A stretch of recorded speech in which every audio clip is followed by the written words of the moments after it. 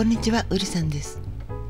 テレビ東京、毎週月曜日夜11時6分から放送されるドラマ、破壊ナースコール第9話考察動画です。過去の考察が気になるという方は、チャンネル登録していただいて、再生リストをご活用ください。さて今回は9話の時系列、宇田川悟を中心に考える、防犯カメラデータ、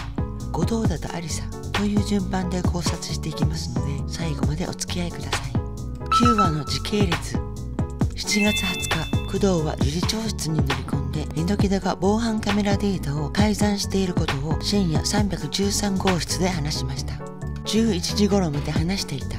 すぐに処置しなければ出血多量で亡くなっていた。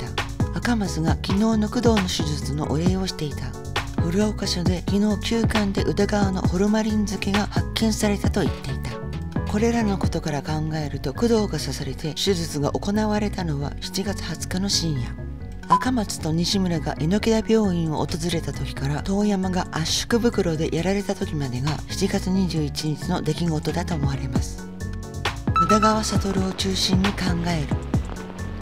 こちらの動画で榎田が宇田川に命令して定期的にあの山道でわざと事故を起こさせ榎田病院に救急車で運ばれるように仕組んだのではと考察しました。9話ではかなり宇田川という人物にスポットが当てられたので宇田川を中心に考えると色々とわかるのではないでしょうか。ハリサの病室で山根が工藤さんを刺したのってあのトラックの運転手らしいよ。宇田川と野田仲が良かったらしいと割と本当のことを言いました。榎田も病気で勤めていた会社を辞めざるを得なくなって榎田グループの関連会社をお世話したことまで認めました。刑事たちは少なくとも工藤を刺したのは宇田川だと思われます。そうなると中庭で起きたトラックの事故についても再捜査することになりますと言っていました。有沢山根に初めて私たちの車の事故もあのトラックが原因だったような気がするんですけどと言いました。三上を引いたことと宇田川の死は何か関係があるのか。野田が窓から突き落とされたこと。工藤が刺されたこと。有沙が黒幕かどうかは別として。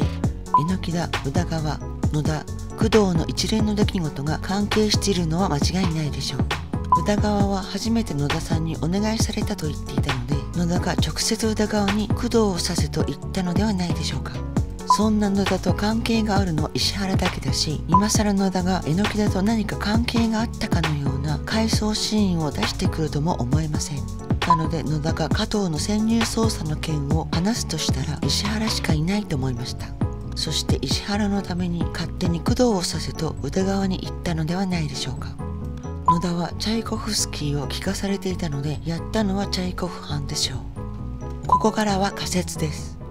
献花で遺体の一部を戦利品として持ち去るという事件が起こっていた。何件もやっている割に手がかりがないのは防犯カメラに映るような手間をしていないから。7月10日から連続して病院内で313号室の患者が消された。触発されたシャイコフ班が7月13日に江口をやった。戦利品を持ち去っているのは事実なのであの休館でホルマリンにつけて楽しんでいた。そもそも宇田川が自死した場所をあの休館に設定しているということは9話にして番組側が何かヒントを出してきた感じがしました。休館の壁に貼ってあったのはデュアル SC スキルシステムとプリマフィックス。大腿骨頸部骨折に用いる接合医療器具と骨折部の補填。自家骨移植が必要とされる部位の補填に使われる医療品でした。もしかしたらあの不気味なレントゲンも戦利品を写したものかもしれません。私は病院内班の方が複雑なのでチャイコフ班の方は石原だと考えています。石原をミスリード要因としてしまうのは簡単ですがチャイコフ班とした方が辻褄が合うのではないでしょうか。石原が榎田と対立しているのは間違いないでしょう。そんな榎田が守ろうとしているのは防犯カメラに映った何かです。石原は面白がっている。むしろ知ってることを楽しんでたとしたら一番チャイコフ班に近いのは石原だと思いました。一方翔太郎も後藤だとつなに僕たちの交通事故も初めから仕組まれていたんじゃないかと有沙と話したことを告げました。知らない間にドライブレコーダーもオフになっていました。僕と有沙をこの病院に入院させるためです。同じ9話の中で再三宇田川とトラック三上を引いた野田と宇田川の仲が良かったことが描かれたので翔太郎とアリサを病院に入院させるために榎戸が宇田川に事故を起こさせたのは間違いないと思いました。そして肝心の榎木が退院させたくないのがアリサで病院内で消されているのが翔太郎のいる313号室の患者たちです。バラバラの病名を持つ患者を一つの病室に集められたということはやはり何かの共通点があるのではないでしょうか。防犯カメラデータ。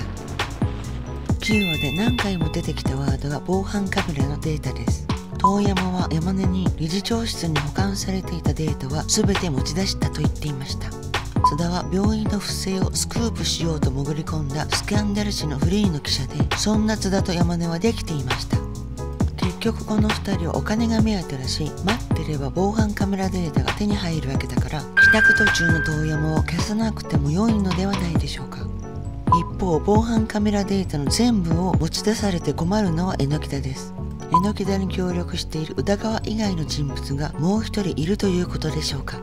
普通のドラマならそんなにサイコパスがいるわけないじゃんと思われますがこのドラマに限ってはそういうことを指摘そうです。後藤田とアリサ。9話が終了したとしてもアリサが白だという根拠はなさそうですが後藤田とアリサが共犯というのはないと思いました。2人だけの病室のシーンでこれでもし僕がされたら春野くんのことは置いて一人で逃げなさいなんて言わないのではないでしょうか。後藤田がアリサに翔太郎のことをチクる。アリサが翔太郎を疑う。どうも主人公を犯人に持ってきたそうな流れです。細かいことについてはまた別の動画にしようと思いますが皆さんは後藤田についてどう思われますか？コメントで教えてください。チャンネル登録していただくとこの動画が見つけやすくなりますので登録の方よろしくお願いします。最後までご覧いただきありがとうございました。それではまた何かの動画でお会いしましょう。バイ。